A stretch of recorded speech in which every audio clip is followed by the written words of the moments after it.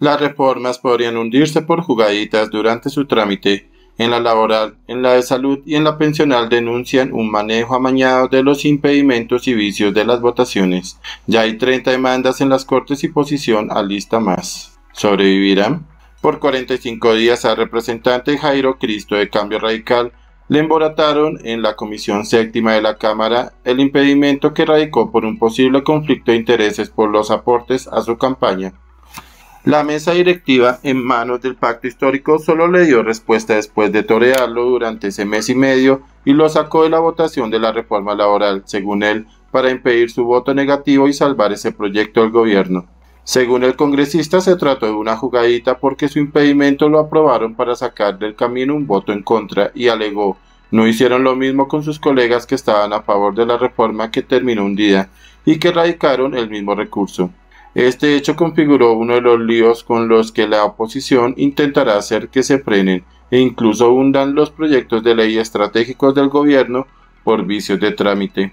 Por casos como este, los impulsores de esas iniciativas están en una encrucijada, pues además de estos enredos hay más de 300 demandas ante la Corte Constitucional y el Consejo de Estado contra las leyes que el gobierno logró aprobar en el Capitolio y contra las que continúan siendo tramitadas. Jugarretas para pasar reformas. Un mes antes de posesionarse como presidente, Petro aseguró que el grueso de sus reformas sociales tenía que ser aprobado en el primer año de su gobierno, o de lo contrario, éstas se hundirían. No creemos que se puedan aprobar proyectos de esta magnitud después del primer año. O lo hacemos en este, con el viento a favor, o después la historia nos mandará hacia otros lares, planteó en julio de 2022. Pese al optimismo del mandatario, ese propósito fracasó y la única reforma que fue aprobada por completo al inicio de su gobierno fue la tributaria, en noviembre de ese año cuando todavía tenía las mayorías. Entre tanto, las reformas a la salud y pensional solo pasaron el primer debate y siguen en vilo, y se hundieron la laboral, la carcelaria y la que buscaba regularizar el comercio de cannabis en el país. Ahora el escenario es distinto y podría jugarle en contra a la Casa de Nariño, y es que el oficialismo tendrá que trabajar a contrarreloj para lograr que en el lapso de un año se aprueben las dos reformas que siguen vivas, pero ya no agarrará el sartén por el mango, pues después del 20 de julio perderá el control de las mesas directivas del Senado y la Cámara, que quedarán en manos de la Alianza Verde y el Partido Liberal respectivamente. Y es que a los tiempos que le juegan en contrarreloj se le sume esa ruptura en la coalición de gobierno que ha sido uno de los pesares que más le pesan a Petro al momento de tramitar las reformas. Lo cierto es que varias se estancaron porque no existe un diálogo constructivo y directo con el Capitolio, algo que ya tiene corriendo a varias de sus fichas para recomponer la situación. Así las cosas, estos han sido los casos que más han sacado chispas entre partidarios opositores del gobierno, y que muy probablemente terminarán ante las altas cortes para alegar vicios en el trámite de las reformas. Se embolataron artículos y se saltaron pasos. Una agitada rencilla política que se registró en la Comisión Séptima de la Cámara el 16 de mayo destapó una serie de duros reclamos contra la mesa directiva, liderada por el representante Ahmed Escaf del Pacto Histórico, por posibles irregularidades que habrían salpicado la reforma a la salud. Según denunció el representante Andrés Forero del Centro Democrático, durante esa sesión de más de ocho horas se concretó la enmienda con la que el oficialismo buscaba desenredar la discusión estancada hasta ese momento por la negativa de los partidos conservador y la U de votar el articulado como lo había dejado Carolina Corcho. De acuerdo con Porero, con esa enmienda el pacto histórico hizo una movida estratégica para gran parte del articulado con el que no estaban satisfechos Efraín Cepeda y Dilian Francisco Toro, jefes del conservador y la U. El congresista opositor denunció que la enmienda fue radicada por cuatro ponentes, pero habían quedado mal 57 artículos, no aparecían, no los metieron. Ante esta posible irregularidad, la representante verde Marta Alfonso defendió que se trató de una enmienda parcial, que está contenida dentro de la Ley 5 de 1992 como un recurso válido en el marco del trámite legislativo. Por eso no se enmendó todo el articulado sin una parte y en medio de ese ripirrafe la oposición elevó su voz de protesta y aseguró que se trató de un claro vicio en el trámite y le sumó reclamos sobre el corto tiempo que consideraron que no fue suficiente para discutir el contenido de la reforma y por la interrupción de una votación en curso, sin clara justificación y errores en la numeración del articulado, lo que generó confusión y críticas. El trámite de la reforma a la salud estuvo viciado. Por ejemplo, se vio que por falta de quórum suspendieron la votación antes de que se cumpliera la media hora reglamentaria y volvieron a poner el mismo tema a consideración en la plenaria, reclamó el representante Porero. Así, la oposición reclamó que la mesa directiva se habría saltado los pasos adecuados para la aprobación, pero en su momento SCAF desacreditó toda sospecha de vicios en el trámite. La oposición siempre habla de vicios, pero no los hay. Hemos sido claros y explícitos, además de garantistas, durante todo este proceso. Hemos ido avanzando y no ha habido razones para impedir el debate, apuntó Ska. Tan solo tres días después de esa belicosa sesión del 16 de mayo, la mayor parte del articulado de la reforma había sido aprobado y Forero anunció que llevará las presuntas irregularidades ante la Corte Constitucional. La reforma fue pupitreada, pero la pelea sigue en la plenaria, en segundo debate, y también ante la Corte Constitucional. El que se cansa pierde, dijo el opositor. Hubo enredos en la votación e impedimentos. A tan solo una semana de concluir la legislatura, el 13 de junio, sorpresivamente se destrabó la reforma pensional con la aprobación de la mayoría de sus artículos, pese a que la iniciativa estuvo estancada durante más de dos semanas ante repetitivas desbaratadas del quórum, lo que generó altercados y discusiones en la Comisión Séptima del Senado. Este día la jornada se extendió por más de ocho horas y la prioridad del gobierno era clara, aprobar sí o sí la reforma pensional.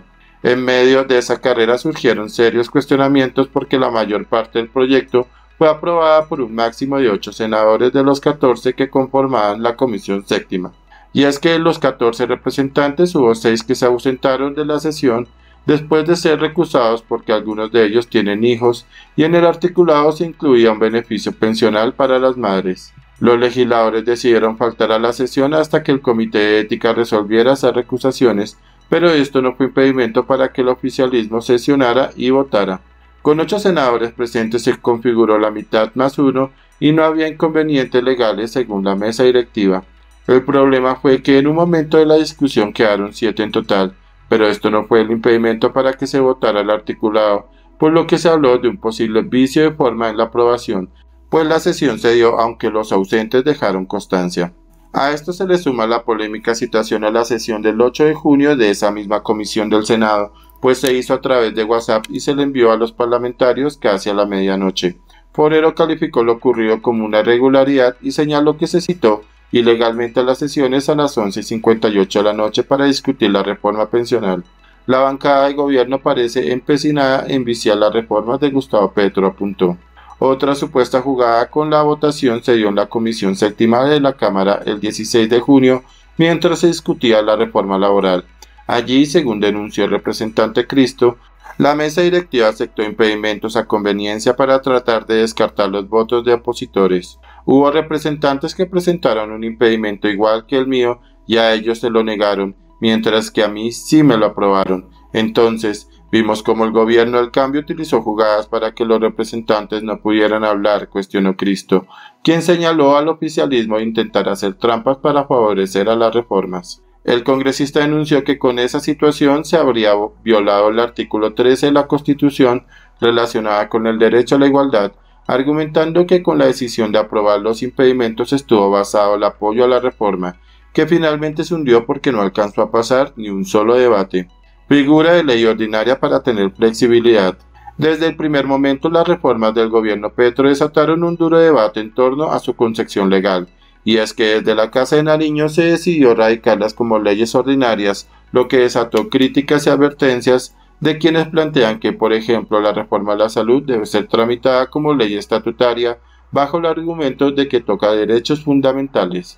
Esta situación ha generado un intenso debate en el Capitolio, donde se ha señalado al gobierno de erradicarla como ley ordinaria como una estrategia para garantizar dos años hábiles para lograr su aprobación y hacer que su trámite no sea tan exigente como ocurre con las leyes estatutarias. El abogado constitucionalista Andrés Úsuga explicó que las estatutarias son normas de procedimiento especiales que tienen revisión constitucional automática, lo que hace más estricto su trámite frente a las ordinarias, que por lo general son revisadas por la Corte si las demandan. Además, las primeras deben superar ocho debates y las segundas solo cuatro. A esto se le suma que en el trámite los tiempos también son distintos, pues las leyes estatutarias deben ser aprobadas dentro de una sola legislatura, un año, mientras que las ordinarias tienen un plazo de hasta dos legislaturas, dos años, antes de ser archivadas. En el caso de la ley ordinaria, su control constitucional es posterior si hay una demanda que lo amerite. En la estatutaria es obligatorio el control previo de la Corte Constitucional, por lo que el trámite se hace más dispendioso y demorado para quienes impulsan la ley. En el caso de la reforma social es el Gobierno Nacional, explicó el abogado. En la posición se ha advertido que la Corte podría declarar inexequible la reforma a la salud o parte de ella cuando sea aprobada porque será demandada. La reforma a la salud debe tramitarse como una ley estatutaria porque toca el derecho fundamental a la salud y exige mayorías calificadas para poder salir adelante, aseguró el senador David Luna de Cambio Radical. Múltiples demandas en curso. Además de los posibles vicios de trámite y de forma que pueden traducirse en evaluaciones de constitucionalidad, hay una serie de demandas en marcha que busca tumbar los proyectos aprobados. Este es el caso de la reforma tributaria que suma en la Corte Constitucional más de 30 demandas que piden tumbar una serie de artículos e incluso el proyecto completo. Una de las más recientes la dio a conocer Petro, quien aseguró que el sector petrolero está inconforme con la imposibilidad de deducir las regalías del impuesto de renta. Los petroleros impusieron la demanda ante la Corte esperando que les vaya a favor y nos quiten la mitad de la reforma tributaria, aseguró. Contra el Plan Nacional de Desarrollo hay al menos 10 demandas y una de ellas es la del senador Miguel Uribe del Centro Democrático, quien cuestionó que el proyecto tuvo vicios de procedimiento en el trámite legislativo. También está demandado el estancado Ministerio de la Igualdad, pues se reclama que el informe de ponencia para primer debate y el articulado no podían ser aprobados mediante votación ordinaria, sino que se requería de votación nominal. En medio de esta oleada de procesos, el presidente decidió dejar quietas sus reformas y no las llevó a las sesiones extras a las que citó, porque su coalición está fracturada y tratará de recomponerla junto al ministro del Interior, Luis Fernando Velasco, quien enfrenta un reto porque, por ejemplo, ni con la ayuda del polémico Julián Bedoya ha convencido a la mayoría del Partido Liberal de que marche el, al paso del gobierno. Petrismo pide recomponer la coalición de gobierno. Al interior del pacto histórico se reconoce que la principal razón para el estancamiento de las reformas ha sido la ruptura de la coalición oficialista en el legislativo, por lo que las cabezas de esa colectividad le pidieron al gobierno que trate de recomponer el camino para evitar que más iniciativas reformistas se queden varadas en el camino como ocurrió con la laboral. Uno de los que hizo ese llamado fue el presidente del Congreso, Alexander López, quien planteó que debe haber un diálogo más constructivo entre el gobierno y el Capitolio, pese a las presiones que el presidente Gustavo Petro ha ejercido en las calles. Tenemos una comisión que va a trabajar en esos acercamientos, buscando que lleguemos al inicio de la legislatura con unos consensos, con unos acuerdos, aseguró López. Por ahora se sabe que tres emisarios de la Casa de Nariño se han acercado a la jefe del partido la U, Dilian Francisco Toro, para restablecer relaciones.